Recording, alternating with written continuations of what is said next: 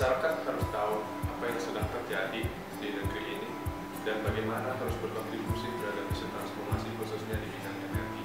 Tergantungan pada energi fosil bukan karena disebabkan karena energi tersebut akan habis di saat di masa mendatang, tapi eksploitasi yang berlebihan akan menyebabkan lingkungan biotik menjadi hancur dan menyebabkan masalah ekonomi serta keamanan dunia karena dunia akan tergantung pada supply yang sangat tinggi.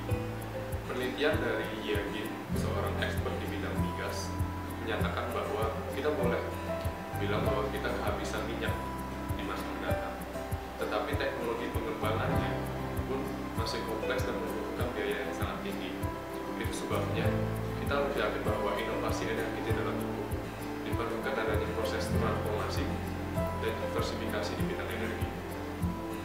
Tantangan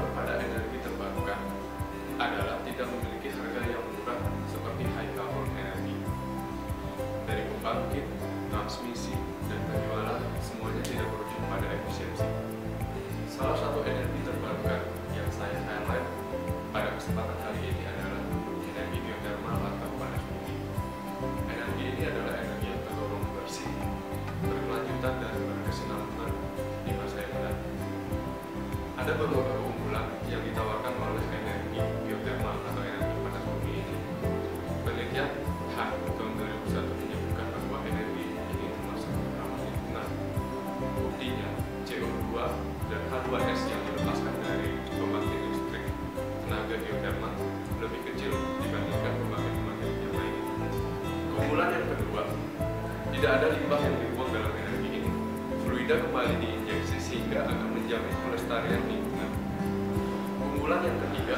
pasokan tetap stabil.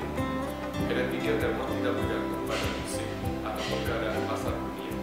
Fakta dan keunggulan yang keempat, sumber pada bumi yang keluar dari bumi sangat mendukung di sumber berlanjutan yang sangat panjang, bahkan tidak akan habis pada sejarah manusia. Nelson Mandela pernah mengatakan bahwa edukasi adalah senjata yang paling penting